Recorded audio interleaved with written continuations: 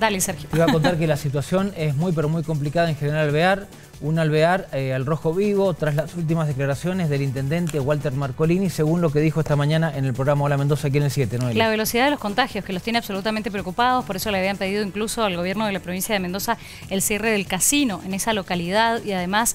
varias restricciones, entre ellas el cierre de los comercios han determinado a las 19.30, lo mismo para las actividades deportivas, están tratando justamente de ralentizar la velocidad con que la gente se está contagiando. Es el departamento más complicado de toda la provincia de Mendoza por los últimos números, y lo ha dicho el propio intendente, como hasta mm, el mes de marzo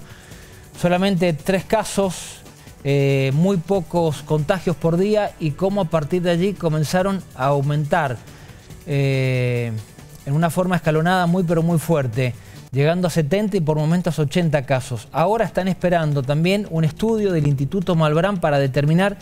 qué cepa hay, qué variante hay del coronavirus, si hay una variante nueva o no, que pudo haber traído a alguien de un famoso viaje a Mar del Plata. ¿Lo escuchamos?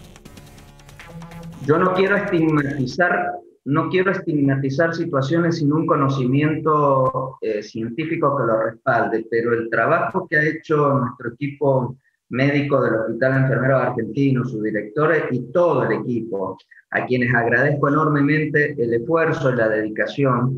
eh, todo conduce a, determinar que fueron eh, a finales de marzo dos contingentes que volvieron de vacaciones de adultos mayores y jubilados que estuvieron en Mar del Plata y, y, a partir de esa situación se desató una ola de contagios. Creemos que eh,